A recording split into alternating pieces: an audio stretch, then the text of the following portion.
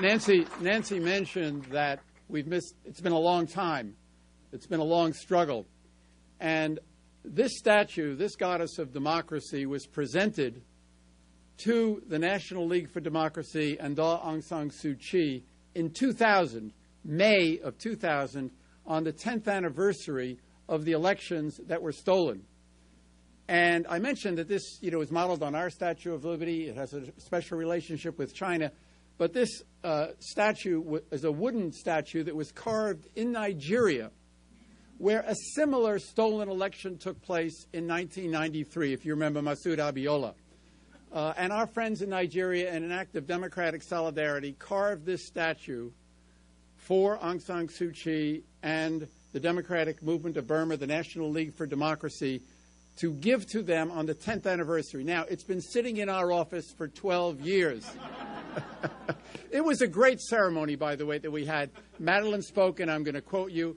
Tom Lantos spoke at that event, as did John Porter. We had a videotaped message from Aung San Suu Kyi herself at that event, and she said, Many are still working for democracy, but under very difficult circumstances.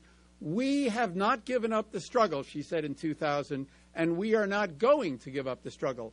Another person who spoke at that Capitol Hill event was Secretary of State Madeleine Albright. She came as Secretary of State to speak at that event, and she said, The yearning for freedom is relentless.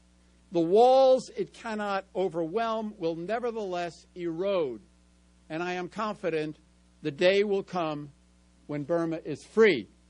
Those walls are now coming down, and we want to take advantage of Aung San Suu Kyi's visit here to present this statue to her. And I want to invite Madeleine Albright to come up and to join me in making this presentation.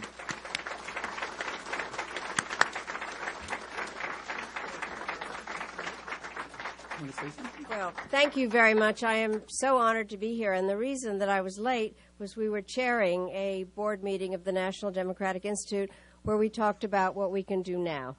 Uh, never give up and continue to be helpful to you, dear Sue, and to everybody. So thank you. This is amazing.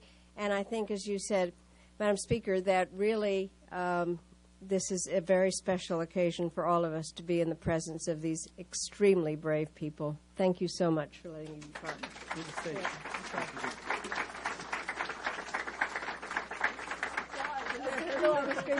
It's not that heavy. Thank you very much.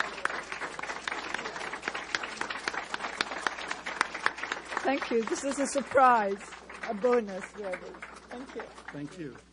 It's beautiful. It's wonderful.